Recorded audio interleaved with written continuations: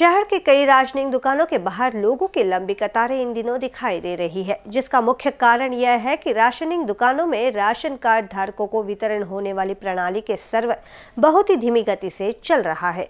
इसी के चलते आज युवा सेना के नागपुर जिला प्रमुख शरद सरोदे के नेतृत्व में खाद्यान्न आपूर्ति वितरण अधिकारी भास्कर तायड़े को इस समस्या को हल करने हेतु ज्ञापन सौंपा गया है। राशन कार्ड धारकों के वितरण व्यवस्था प्रणाली का सर्वर डाउन होने के कारण जरूरतमंद लोगों के लिए सरकार द्वारा निर्धारित मापदंडों के अनुसार खाद्यान्न प्राप्त करना बहुत ही मुश्किल हो रहा है। सरकारी दर आरोप सौ रूपए किलो का अनाज खरीदने में लाभार्थियों को रोज़ाना तीन सौ ऐसी चार सौ रूपए का नुकसान नुकसान सहना पड़ रहा है। नागरिकों को पता होना चाहिए कि इसके लिए प्रशासन के पास क्या उपाय या विकल्प है, ताकि नागरिकों को हो रही समस्या जल्द से जल्द हल हो पाए।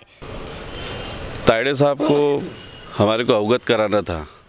वैसे जो अभी तात्पुरती सरकार बैठी हुई है, जिस जैसे बोलते तात्पुरती सरकार ने नाम के लिए बकायदा जो जनता के साथ में खिलवाड़ किया कि सौ रुपये में हम दिवाली एक, दिवाली ऑफ़र करके सौ रुपये में हम उनको एक पैकेज देते एक छोटा सा पैकेट दिया गया सौ रुपये में।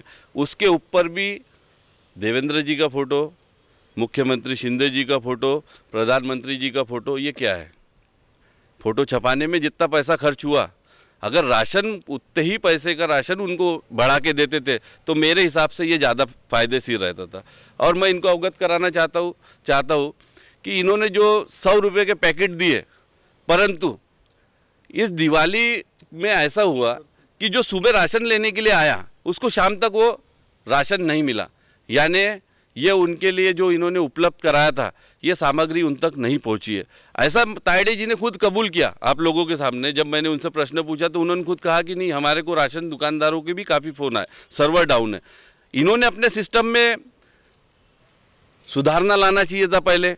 या तो उसके लिए कोई दूसरा पर्याय उसने, उन्होंने ये करना था कि अगर हमारे यहाँ नेटवर्क नहीं रहता, रह पाता है तो हमने जो आम जनता आती है, जो नागरिकों का हक है, राशन दुकानदारों के पास आते हैं तो उनको तात्पुरती पावती लेके उनको वो राशन देना चाहिए था ताकि सबकी दिवाली अच्छी हो।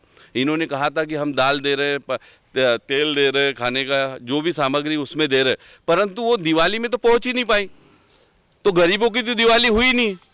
इसी मांग के लिए आज युवा इसी मांग के लिए आज युवा सेना द्वारा खाद्यान्न आपूर्ति वितरण अधिकारी को ज्ञापन सौंपा गया। इस दौरान युवा सेना के कई कार्यकर्ता पदाधिकारी उपस्थित थे। नहीं अभी हमारे हमारे तायड़ी जी से अब बात हुई है। उन्होंने कहा कि हम हमने इसकी हम ये पत्र भेज के तुरंत ही इस पर कुछ कार्रवाई करते हैं। हमने उनको सुझाव दिया कि जैसा अगर सर्वर भी डाउन होता है तो आप तात्पुरती कुछ ऐसे स्लिप्स बुक छपवाइए। जो तात्पुरती वो लोग जो आते हैं क्योंकि राशन दुकान में वही लोग आते हैं जो गरजू लोग होते हैं, जिन्हें उनकी आवश्यकता होती है। वही लोग लाइन में लगते हैं। और उन लोगों की वास्तविकता यह है कि वो लोग 400-500 रुपए रोजी से कोई काम पे जाता है और राशन लेते वक्त अगर वह पाँच पाँच घंटे वो राशन की लाइन में, दुकान में, कर, राशनिंग दुकान में अगर खड़े रहते हैं तो उनकी सौ रुपये के लिए पाँच सौ रुपये सरकार छीन रही है। मेरा ऐसा मत है। तो इसीलिए तायडे जी से हमने रिक्वेस्ट की है कि आप तात्पुरता ये जो मुद्दा है, इस पर तुरंत हमारे को, आप हमारे को लिखित में एक पत्र भी दीजिए और इसमें तुरंत सबका आदेश दीजिए कि सबकी राशनिंग दुकान में उनको, उनके उपलब्ध किया जाए किट।